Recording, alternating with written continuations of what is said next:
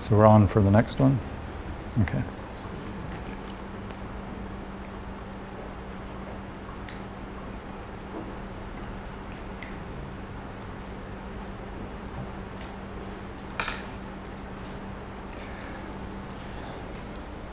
So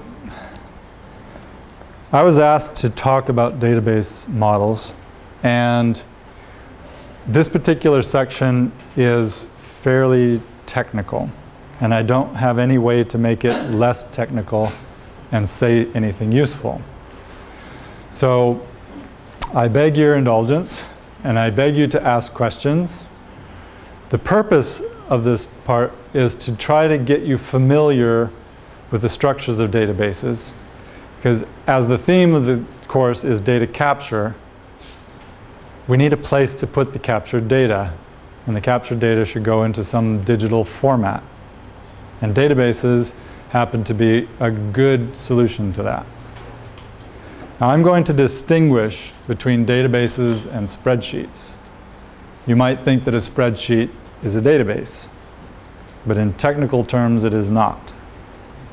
A spreadsheet is an organization tool as a database is, but it lacks many of the critical concepts of a database. One critical uh, concept that it lacks is rigorous organization. I can demonstrate that to you fairly easily if I use one of our previous spreadsheets.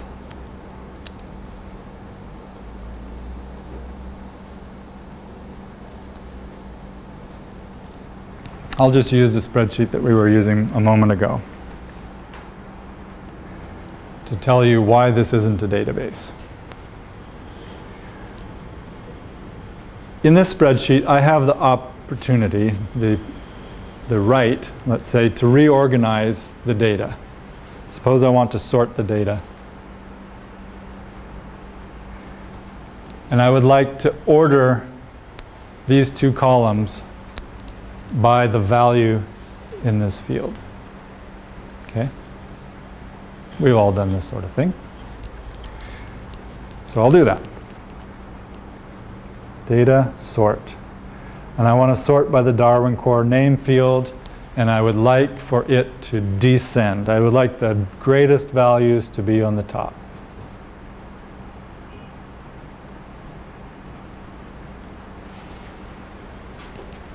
Okay, Excel's great. That was easy. What have I done? Now, I close the Excel spreadsheet and I go away because I was happy with my work. And I come back and I open my spreadsheet and I look at this and go, who messed up my data? Because now I've got year mapped to catalog number. And I have no way to fix that. I have totally messed up my database and I have no way to recover. I can't unsort it after I've gone away to put it back where it was. A database won't allow me to be that stupid. Because the database will have a record for the catalog number and all the values here will be eternally connected to it. I can't rearrange things that way on purpose. So that's the simplest way that I can tell you the difference between a spreadsheet and a database. Excel allows you to be stupid. A, database doesn't. And a database doesn't on purpose. That's what it's for, is to make sure people can't be stupid. Now, people find creative ways to be stupid in databases. It's really hard to keep people from being stupid, but it does a better job of keeping you constrained in your creativity. Okay. So now, why are databases better? One is you can't be stupid in the way that I just demonstrated.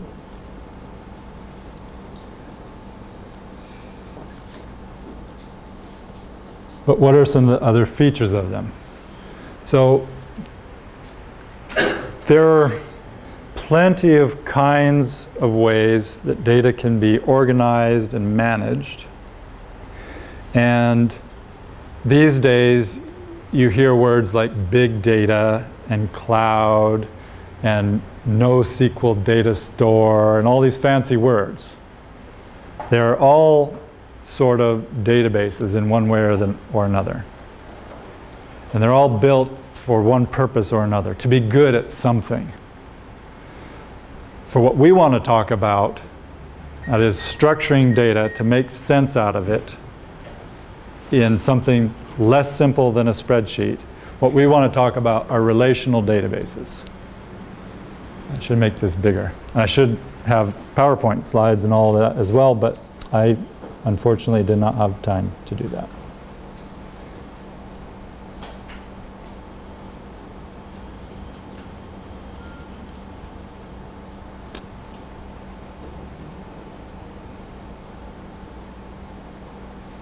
Okay, so what we're talking about now, and for the rest of this part, are relational databases. Why are they relational? It's because you will have concepts that are related to each other. You remember yesterday when I began to talk about identifiers and global unique identifiers. And specifically, I was talking about specimens and the images associated with them. So now I have two concepts, a concept of a specimen and a concept of an image. And in our minds, we can easily keep those things apart because we have evolved to be very good at categorizing things, to put them in categories. So if we think of an image and all the characteristics of an image, we can put them in one category. And if we think of a specimen and all the characteristics of a specimen, we can put that in a different category. But we want to relate the two because there are images of specimens.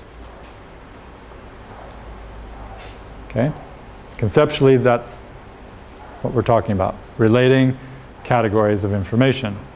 Now, in relational databases, those categories are divided up into tables. So, in a relational database, I would have a table of specimens and I would have a table of images. And each table would have data fields in them. And the data fields would correspond as yesterday, to the terms that we were talking about. Do you remember the simple images extension?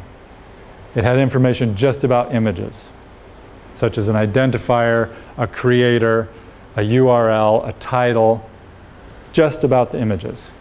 So those would be fields in an images database, or an images table. Sorry, in an images table. And then the simple Darwin core fields, such as a scientific name, and recorded by and georeferenced by, all those are fields associated with a specimen. So fields in a specimen table. So we're keeping them separate from each other. So if you must think about spreadsheets for the time being, they would be in two different spreadsheets. Now, if you're an Excel expert, tell me how do you relate the images to their specimens in an Excel spreadsheet? You don't. They're on different sheets, and that's the best you can do. They're not really related to each other. So Excel spreadsheet fails to be a database in that respect. It doesn't have the concept of tables that can be related to each other, but a database does. And the way that they're related to each other is through fields that have values in common in both tables. I'll get to that in a moment. First, I want to say one little thing about data types. In an Excel spreadsheet, you can set the data type of a cell. Right? If I have a, a cell, I can go there, say format, cell, date and say what the date should look like. But in the cell just above it, I can format that one as text. And the one above that, I can format that as an integer. I have the freedom in Excel to format every cell exactly how I want it. But that means I have trouble if I want consistency in the column. If I want my whole column to be dates, and I have the ability to set one as a date, one as an integer, and one as text, and enter data in those formats, then I've ruined the concept of consistency for my column. And whenever I try to do mappings from Excel spreadsheets into Darwin Core as a database, I run into that problem. It'll show me some kind of an error. It says this isn't a date because of those formatting issues. So in the database, I have the concept of data typing. In Excel, I can do it in a, in a cell. In a database, I cannot do it in a cell. I can only do it in a column. I can set the data type for a whole column. And that forces me to be consistent, which reduces my capacity to be stupid. Again. So another way to constrain me so that I don't make mistakes. Again, that's what the database is for. So now, going back to the idea of relational. If I have two tables, an image table and a specimens table, and I know they're related to each other because they're images of specimens, then I need to be able to say somewhere which image goes with which specimen. How are they related? Now, I scratch my head and I say, okay, think of this as my family. Who's my father? I can run around with a label on my chest that says, my father is, so on. And that's convenient, because I only can have one father biologically. So I'm unique, or he's unique in that respect to me. He is the only one who is my father. So I can label the relationship on me in that direction. Now, let me go to my father. He has the capacity to say his relationship to me as well. He can say, My son is John. But as happenstance would have it, I'm not his only son. I'm not unique in that respect. So if he puts a label, my son is John, then all my brothers get jealous. Because I'm the only one that can be labeled in that way. It's the only way to do it. So you can see that there's a natural way for the relationship to be specified, and that is for me to say the unique relationship. My father, my parent, is that other person. So that's how the relationships are done in databases. Now, a specimen can have more than one image. Same thing as the specimen can have more than one child. So I don't want the image identifier to be in my specimen table because then I could only have one. Instead, I need the specimen identifier to be with my image to say that's the specimen that I belong to. That's my parent. Okay? There's a direction, a natural direction between the two. And those in the database language are called keys. They're keys. And then just so that I have done my duty, there are two types of keys then. The one that uniquely identifies me is my primary key. It is unique. And the one that identifies my father or my parent is the foreign key. It's something outside of me. So in databases, there are primary keys and foreign keys. And it's those keys that are used to relate tables. So let me show you this in an example database.